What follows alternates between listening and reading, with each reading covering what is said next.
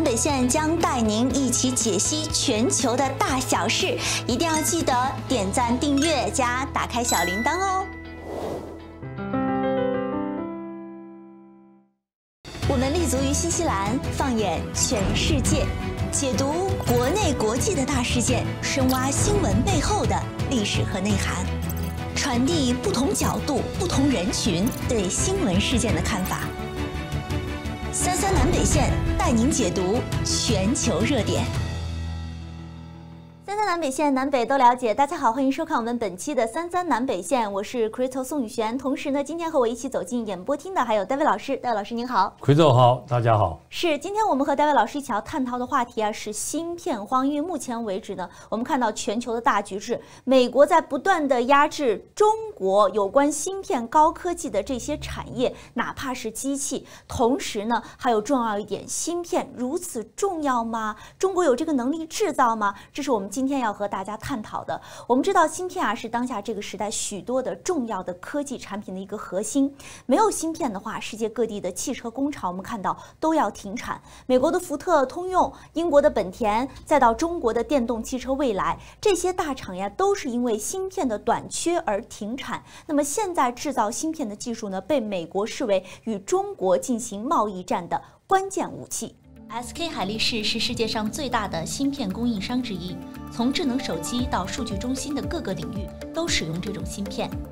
SK 海力士本计划将最新极紫外光光刻机为无锡厂的一个量产设施进行升级，但无奈美国反对，理由是将这类先进工具运至中国可能被用于强化该国的军事力量。无锡这家工厂对全球电子行业至关重要。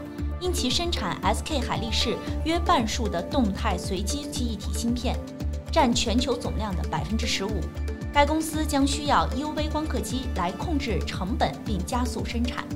如果这种情况在未来几年内得不到解决，SK 海力士可能会在与头号内存芯片制造商三星和美国美光等对手的竞争中处于不利地位。三星和美光也都在转向使用 ASML 的 EUV 光刻机。但没有在工厂所在地使用，因为这些机器面临出口限制。这一潜在的挫折可能使 SK 海力士成为下一家卷入中美地缘政治之争的企业。不光拜登政府时期，特朗普政府多方着手，成功阻止 ASML 将技术出售给中芯国际。SK 的海力士呢，想要往中国引入 EUV 光刻机的这一设备呢，遭遭到了美国的阻挠。那 EUV 光刻机有那么重要吗？哎，非常重要。只要是想掌握芯片技术，你就需要这个光刻机。那么中国呢，是作为全球芯片销量的最大的国家之一，芯片呢是严重的依赖进口的。那我国有很多的芯片呢是没有办法自己进行独立生产的，也是因为我们缺少了一个核心的设备，那就是光刻机了。那荷兰。的 ASML 公司呢，已经拥有了成熟的七纳米光刻机，它就是通过工艺上的改进之后呢，甚至可以生产五纳米或者三纳米的芯片。很多人都说说制造光刻机啊，比制造导弹卫星都难，这其实不是危言耸听。光刻机呢，是作为全球技术含量最高的设备之一，目前真正具备光刻机制造能力的也就那么几个国家，比如说我们刚才提到的荷兰、美国、日本，还有中国。不过中国制造的这个光刻机。它所制造出来的芯片呢是九十纳米，离真正的我们刚才看到七纳米还有很远的路要走。所以真正制造出七纳米以上的光刻机呢，只有荷兰 ASML 一家公司。而制造导弹卫星，只要大家掌握了技术，就可以把它生产出来。它所需要的供应链没有那么多，所以美国就担心啊，一旦中国有了光刻机，技术就会被慢慢的学去了，而被中国会用到军事武器当中。我们刚刚说到，说环顾世界，能造原子弹的国家有很多，但是高端的 EUV 光刻机现在制造的只有荷兰的 ASML 公司一家。一方面呢，我们看到这台 EUV 光刻机有十万多个配件，它是集结了全球最顶尖的一些技术，用的材料、光、镜头都是非常一流的。我们看到这张图，这张是 DUV，是目前为止现在全球的芯片厂比较使用使用的一个比较常用的 DUV 光刻机设备。那 DUV 光刻机呢，它其实是使用的是二十八纳米，它是有这样的一个限定，它还没有到七纳米的技术。不过它已经集合了世界上非常多的先进技术，比如说日本特殊的复合材料、德国的蔡司的镜头技术，还有美国的控制中心、美国的光源，它把所有各国最先进的技术都集合。在一起。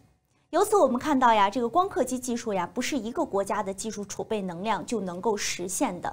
那么阿塞麦奥厉害的一点呢，它是把这么国多国家这么尖端的技术都集合在一起，大家还都乐意为它服务。那么它呢，用了很特别的一个运营方式，那就是在核心技术的获取之上呢，它是通过投资入股的方式获取光刻系统的核心技术。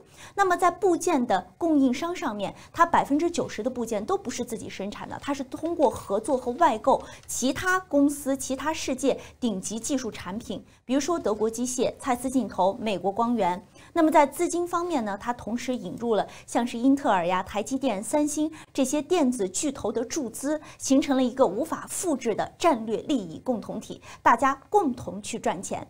那光刻机的设备呢，在 ASML 这个研发已经有数十年的日子了。那么它在二零一七年的时候开始进行量产。就这台小小的这个光刻机，不能说小小的，非常大哈。它的价格呢超过了一点五亿美元。如果这要把这么大的一个机器运送到你要想在的工厂的话，它需要使用四十个集装箱、二十辆卡车，还有三架波音的七四七飞机。那目前市场上普遍认为，如果没有这个设备，生产商就没有办法制造尖端的芯片。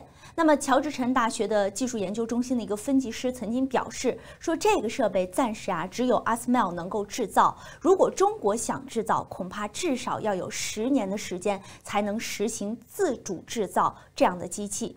可以说，ASML 在 UV 光刻机的设备是处于一个全球垄断的地位，一枝独秀。但是在低 UV 光刻机，低 UV 光刻机它叫深紫外线光刻机，那 EUV 光刻机呢叫做极紫外线光刻机。从名字上听就觉得，哎，EUV 光刻机好像略高一筹。那目前其实大多数的芯片工厂都在使用的是低 UV 光刻机。那低 UV 光刻机的它的技术的工艺节点是二十八纳米，最多呢能做到十纳米。那在 DUV 光刻机的设备上，它还是有竞争对手的，那就是日本的尼康和佳能。不过呢，ASML 占据的市场比例呢是百分之八十五，而日本的尼康和佳能在这一方面啊，他们的这个占比只达到百分之十五。这是在 DUV 光刻机上。那么在 EUV 这个光刻机上，只有 ASML 一家公司能够进行制造和完成。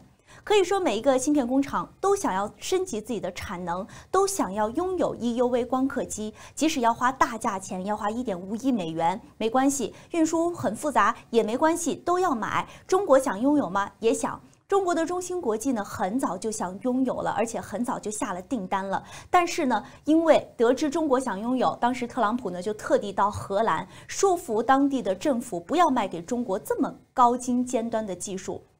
所以，在美国围堵中国半导体产业发展的过程中，光刻机扮演着极其重要的角色。当然，这也意味着阿斯麦尔公司呢陷入了美中贸易战当中。随着美中两国陷入人工智能领域的庞大争夺战，如何获得或构建最新 AI 芯片成为了关键武器。二零一九年七月，特朗普亲信会见荷兰首相，警告他们不得将最先进的光刻机卖给中国。二零二零年九月十三号。美国对华为制裁正式生效，华为无法通过代工或采购获得高端芯片。二零二零年底，全球爆发芯片危机，缺芯波及一百六十九个行业。二零二零年三月三十一号，拜登计划在美国国内芯片制造投入五百亿美元，在电动汽车领域投入一千七百四十亿美元。二零二一年十一月八号。台积电、三星、SK 等芯片巨头向美国低头。二零二一年十一月十三号，英特尔计划在成都扩大芯片产能，白宫以不安全为由得以否决。二零二一年十一月二十号，美国阻挠韩国 SK 海力士在华半导体工厂引入极紫外线 EUV 光刻机。三三南北线带您解读全球热点。好的，我们看到呢，中国的芯片呢是遭到了美国掐脖子。那其实这个掐脖子呢，它通过很多步。那其中呢，有一次是英特尔就想在中国的工厂去增加产能，但是呢，拜登拒绝了。那现在又是 SK 想要引进这个 EUV 光刻机，也被制止了。所以，戴维老师，我想问一下，到底美国多害怕这个芯片的技术的产能在中国得以发扬光大呢？呃，非常简单，我们看到很多东西啊，到了中国人的手上啊。都变得这个活灵活现，而且会这个举一反三，大家都能够不断的去创造更多的这个新的产品哈。实际上，当然来讲呢，这个芯片呢，对中国来说呢，这个有迫切性的需要。当然，光科技的技术呢，现在在这个荷兰的手上，美国政府当然在这个中间有巨多的这个，不管从技术啦、股份啦，都有一定的参与。所以，中国如果拥有光科技，换句话讲，芯片的那种独占性呢？就不是美国所拥有，因为现在中国一年呢，大概进口芯片大概在三千五百亿美金啊，这是一个巨大的金额。对美国的这个半导体产业来讲呢，他们算是赚的这个盆满钵满哈，非常的高兴。所以中美国是非常担忧啊，中国能够拥有光刻机，自己能够制造芯片。是，其实光刻机到中国，美国一直是采取一个反对的态度，拜登反对，特朗普也反对。是。那其实我们看到呢，这次拜登给出的反对理由是中国拥有了这样技术，很可能会用在军事上。您觉得有这种担忧是顾虑，拜登该有吗？哎，对，但实际讲，任何东西啊都离不开芯片哈，甚至来这个制导炸弹呐，到洲际导弹，那任何武器上面呢都有芯片。实际上，在商业跟军用上面，实际上很难区分呢。但是依照过去呢，在二战之后，一九四五年呢，欧洲有一个叫做巴黎呀促进委员会，那种概念呢，就是对某一些国家进行啊管制禁运。那实际上，虽然这个组织已经解散，但是实际上在国际上还是有一种，他们有签了一个叫这个呃这个瓦圣纳协定啊，是言下之意就是说，可能对于这种。非非友好国家，我们对某一些东西都是禁运的，所以呃，对中国来讲呢。这个买光刻机这件事情啊，可能就在名单上啊，这个不能卖给中国。是，呃，说到这里，我突然想到一个新闻，有一个中国的这个人，他在美国，他叫十一池还是十一什么？他是这样的，他是呃被美国指控说将这个美国的军用设备的武器，然后呢偷偷的带到了中国。他的这个带到的过程还很复杂，他交给他这个新加坡的朋友，或者交给他航空的朋友，然后带到中国，带到中国一个中国成都的科技公。公司，那他刚好是中国成都科技公司的 CEO。那他后来呢，还在这家科技公司中，然后有一个分部，专门是制造这个军用的半导体芯片。嗯，那这个军用的半导体芯片，包括他带到中国去的，其实就是这个美国的这种海军呐、陆军呐，他所使用的这个芯片。所以很有可能就是中国拥有了这项技术，也会把它是不是用在比如说这个呃这个航空航天，甚至是整个的军事装备当中。对，这个就回到一个点上啊，任何东西它可能是商用，同时也可以军用。就像来讲这个驱逐舰的这个引擎啊，它也可以装在轮船上面来推动货轮，但是它也可以放在驱逐舰上面呢推动驱逐舰，是军舰，那就是军用了。那当然呢，这个科学家呢，最终呢被认为是这个泄露美国军事机密啊。实际上，这个界限非常难分，因为美国商务部呢在最近成立一种所谓的调查小组啊，就是有一种对于所有美国科技啊是否能够流向中国这件事情呢，在进行追踪调查。甚至当然有一些是蛮冤枉的，他可能是在学术研究上面呢，大家在学术交流，但是在美方的认定上，这就是一种泄密。所以整体来讲呢，在这个时代，军用东西跟这个呃商用很难区分，尤其在芯片上面。是，同时我看到一条新闻，这个也是呃美国这个真的是下大功夫去这个阻碍中国芯片发展，就很多现在目前为止芯片生产公司想要在中国建厂，都会被阻挠，包括你没有办法提高产能，你想要机器没有，你想要技术没办法，我不让你去提供。那中国在这样的状态下，如何呢让自己的芯片能够呃突破重围？呃，当然来讲，这个芯片的制造，实际上我刚刚讲的光刻机啊，你讲的非常清楚啊。实际上它是有这个呃上千道工序啊，上万上万个零件呐组合而成。但是在这个芯片制造过程中呢，它难度也非常大，它必须是一个一条龙，从这个设计到晶圆制造，在晶圆上面用光刻机打出芯片，然后再封装。这个讲起来并不是那么容易啊，是。但是在西方国家不断对中国一些设备的禁运上，对中国来讲呢，这个半导体制造呢，始终就出现了一个短板哈，这是一个蛮困难突破的事。但是看起来中中国政府啊比较有决心啊，这个拨了很多钱，不断的努力，希望能够把中国的半导体产业给做起来，甚至希望到二零三五，中国有自己的芯片，甚至在全世界。中国芯片呢是非常的有名，这个都是有决心。但是我们从很多角度可以看得出来，中国政府做这种事情的时候，往往是说到就一定会做到。那我觉得，虽然现在芯片看起来是像短板，但是我想不出这个十几年，中国应该可以。有自己的芯片，是我们看到，其实中国政府在拨钱，当然中国的企业方面也很努力。那我们看到最近呢，这个华为已经开始和中兴联手合作，要打造二十八纳米的这样的一个技术。是。那其实以前的话，呃，已经有这个，我们已经有这个光刻机，但是光刻机是一个九十纳米的，还差得很远。那其实，在这种过程道路上，您觉得企业应该如何去发展呢？呃，当然来讲呢，在实际上，现代我们生活离不开心哈，这个就像我们人要心脏一样，任何生活当中都有芯片。呃，以前大家可能没注意到，以为这个芯片都是高科技的，但是在哪怕是电脑啊，呃，这个电动汽车啊，工具机、自动车床啊，任何上面通通都有芯片。那当然来讲，对中国来说，现在这个呃，华为啊，非常遗憾呢。当然，过去受到美国因为芯片打压。实际上，它的这个手机市场高端芯片呢，它已经慢慢在淡出。是，它也知道在这个现阶段来讲呢，它必须转型。所以虽然是二十八纳米啊，但是在理论上来讲，在大部分的这个工具机或办公室设备，在许多方面是足够用了啊。啊，不一定呃，不一定是很多办公设备需要用到什么五纳米、三纳米啊这种尖端芯片。所以整体来讲啊，中国虽然现在做不了五呃五纳米、三纳米，但是如果能把整个芯片产业啊，它还是继续维持、继续走，这还是一个好现象。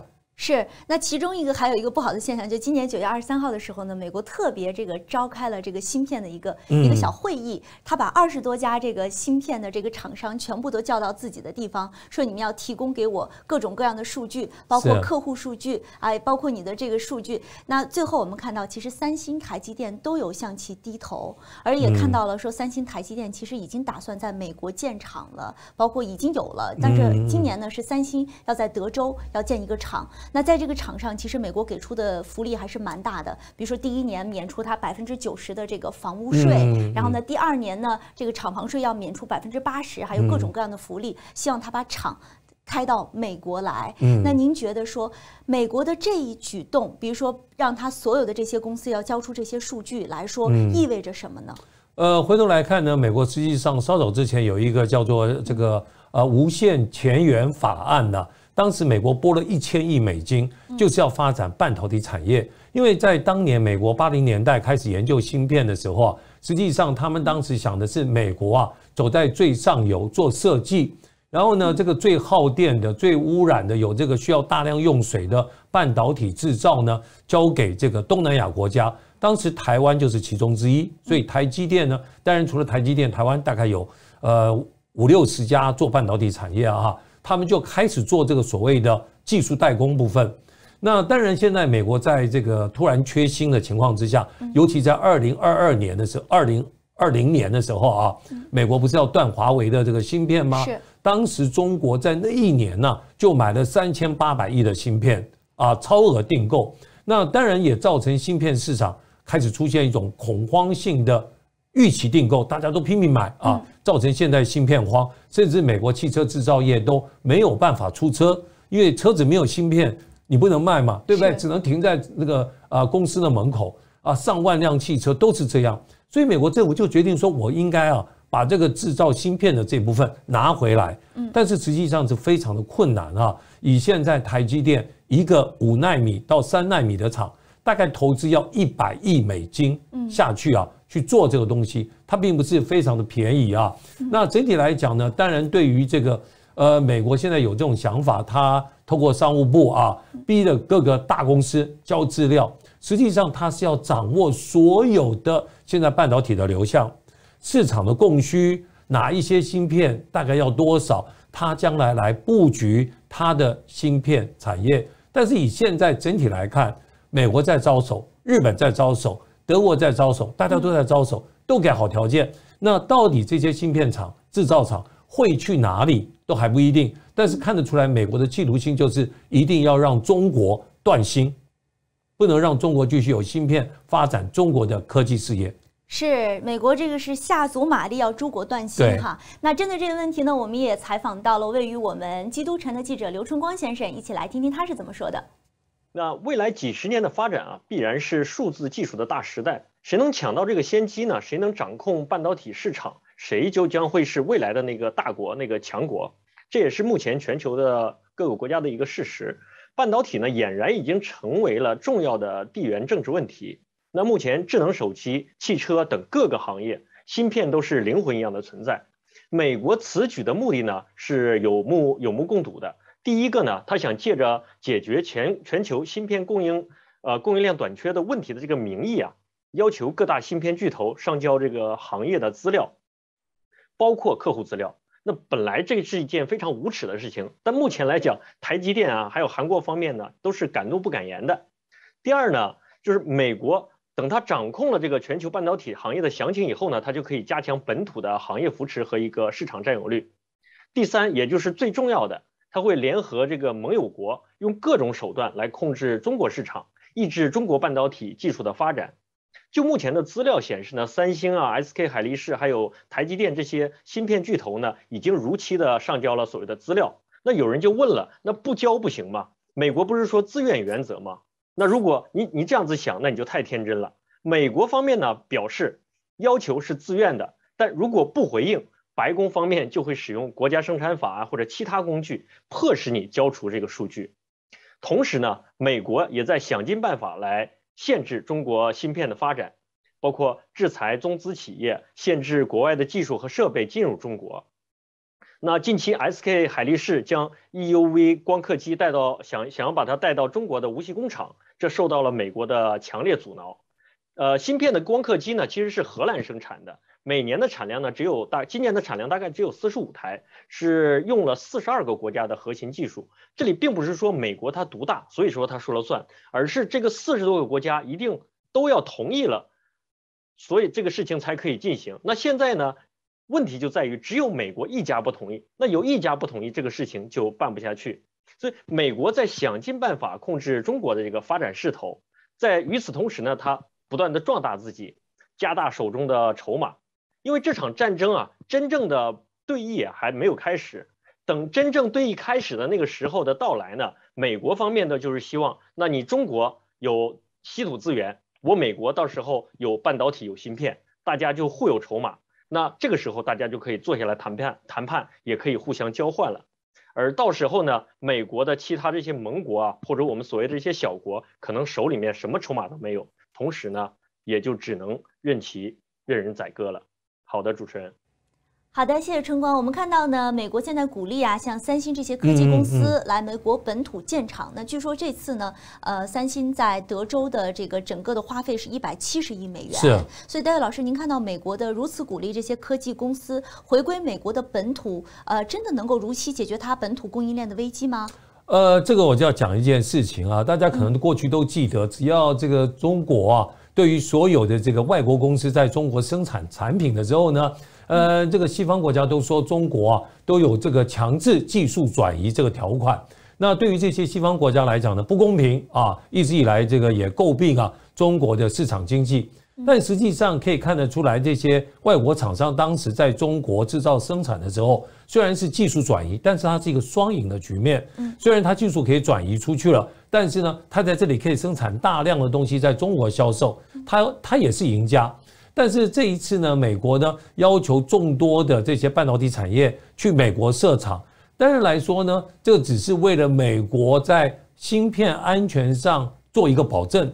因为美国必须要理解哈，呃，第一，它的芯片产业啊，它必呃，芯片产业制造需要大量的用电，还有大量的用水，还有呢劳动力市场的这个劳工成本啊。那美国有没有那么多科技人才能够愿意待在芯片工厂里面？这个都是并不是有钱呐，盖一个厂就能解决的问题。对于不管三星将来台积电这些都被迫啊，因为商务部都要求他们交资料，实际上说穿了就是要去美国开工厂啊，这个难度是有啊，尤其美国在劳工保护的上面要求非常高，所以对于这些芯片制造厂来讲是有苦难言呐。所以有的时候呢，你说美国常常说中国怎么样怎么样，但回头看看他自己，好像也不怎么样啊，这个就是典型的双标。是。啊对我们看到，其实中国目前为止，不管是在五 G、物联网、互联网，包括很多的智能的这些设备上，它其实都有自己一定的这个水平在的。那为何在半导体和芯片的制造上如此难以突破呢？甚至我们刚才看到有一个这个技术的这个研究人员说，它至少要需要十年的时间呢。呃，这个当然呢，实际上中国没有不努力啊，不管对企业的补助啊，大量的资金投入啊，但是实际上我们知道呢，在过去。因为这个就是属于在这个科技产品的限制，这个进口、出口之类的哈，实际上让中国买不到很多高科技的这些啊产品呃机器来制造这些东西，就像光刻机就是个例子。如果今天中国能够买到光刻机，中国根本不会在芯片上面是短板。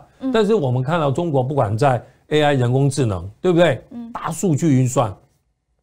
还有这个其他方面，物联网都是在全世界领先，是这代表中国实际上是可以做到的哈。那当然呢，现在的短板呢看得出来需要十年，那实际上这个短时间要突破这个光刻机的技术啊，呃，并不是不可能，因为随着这个芯片制造现在已经走入第三代的半导体产业，就是第三代的芯片制造。是那当然呢，对于中国来讲，我觉得。呃，就像前面所说，只要有决心，中国是一定可以做到的。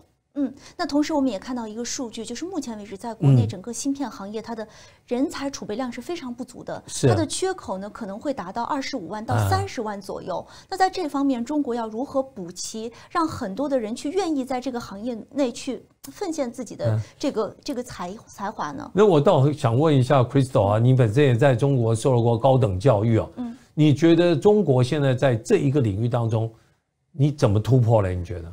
对，首先我觉得这个中国在这个领域呢，它的根本原因说芯片行业之所以为什么发展的这么慢，其实根本原因不在于美国的制裁，而在而在于确实中国起步就晚。嗯，那另外的话，中国一直都是在依赖进口，当时就没想着说，哎，美国会制裁的这一天，我们会如此需要芯片。那不是有一句话吗？那时候刘少奇说这个，呃，这个造船不如买船，买船不如租船。所以，可能中国当时就做这样一个打算，想是想是租，那既然就不用自己去研发了，我们直接用就可以了。但是外在因素就是美国现在逼迫的你不得不开始要走自主研发的道路了。那既然美国如此逼迫的走道路，再加上确实芯片市场现在是一个急速上升的阶段，中国的它的整个比率每年基本上是以百分之二十、百分之二十这样的科技产品的比率在上升的。是，所以中国这块市场大家看着都热，科技的公司看着热，芯片工厂看着热，再加上本。本身它以前的劳动密集型产业比较多，所以很多人都愿意来开厂。这美国一限制，糟糕！中国发现原来我的人才储备如此不足。那同时我们也看到，我看了一组数据，中国现在的比较在芯片行业的这种科技的学科，嗯，在全世界前五十排名中，中国只有四所大学，而美国呢有将近九所大学。中国只有清华、北大、上海交通，还有一个一个是浙大吧，四所大学，清华大学是排名最先的。关键是。这部分中国愿意培养的这部分人愿意去学吗？学了之后可以保证就业吗？他们可以为为之付出努力吗？其实这都是一个问题。再加上中国芯片行业一直是别人来设工厂，你没有一个尖端的领尖人物的带领，这就很难。就像好老师一定是带出好徒弟的，所以一定要有一个尖端人物带领。所以在未来上，不知道有没有可能能和其他的，比如说美国的高校进行合作，包括在科研上，像我们看到。A s m l 公司，它是集集所有这些国家的力量在做一件事情，它不缺资金，不缺这些材料，它唯一可以专注研发的就是它的技术，所以它可以做这样的 EUV 光刻机。那中国有没有这种能力，把所有这些世界上的这些优秀的这些人才，或者是这些优秀的学科能够集合在一起？呃，我觉得中国当时曾经有一个口号，现在没有什么人讲，叫“中国制造二零二五”啊，我想你都听过。是实际上现在来讲，中国人才在全世界人才济济，不管在这个硅谷啊，到处都有中国人才哈。那当然，现在如果只是短，就像你讲，只是靠一些企业短时间就希望把半导体产业给做起来，确实是不容易。但是回到像你讲，如果能够产官学结合，这倒不失为一个方向了。对，而且要做长远的规划嗯啦。对他，人家已经说了，你可能需要十年，嗯那你要做好十年的规划。未来有很多的这个发展也是这个很难预料的，所以要做好规划。所以在芯片制造方面呢，我们看到中国方面呢，虽然有很多政策的支持，但是呢，中国人才是一个巨大的缺口。那同样，我们看到，其实芯片的制造行业，它不是一个简单的数学或者化学，它是将数学、化学、物理，还有其他的什么电子学、信息化技术，它结合起来的一个交叉性学科。所以未来的国际合作是必不可少的。那么手中有芯，那心中不怕，也希望中国在自主研发的道路上呢，可以尽快有着自己完整的体系。当然，也希望中国有相关的政策，能吸引更多的学生来读这门学科，来不断的进行基础学科的深造。未来呢，也可以创造出属于自己的更加优秀的芯片。好，今天的节目就到这里，感谢您的收听收看，我们下期再会。